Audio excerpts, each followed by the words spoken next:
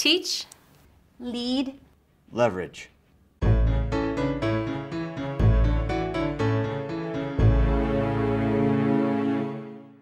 I believe that a teacher leader is It's all of us. A representative. Credible educators. It means going out beyond where we are and investigating. It's a gift that we all have and are very lucky to have. It's about multiple people doing different things, unified together to do what's best for kids and moving us all forward. Leadership is not by position, it's by action. We need to actually be leaders of teachers.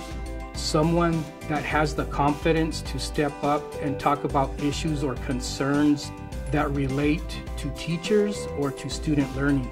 It's a you know, misuse to think that taking the teacher out of a classroom is not contributing to students' development. It means having that passion and that enthusiasm for our profession. I hope that teachers are starting to see themselves as leaders.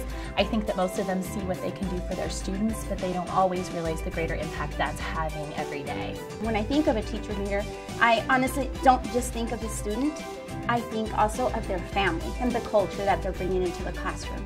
We really can change the way that we think about 21st century teaching and learning. It is just not a title. It's not just something that we walk into our classroom and see a title our, on our door that says, here I'm a teacher leader, without actually doing any of the business of being a teacher leader.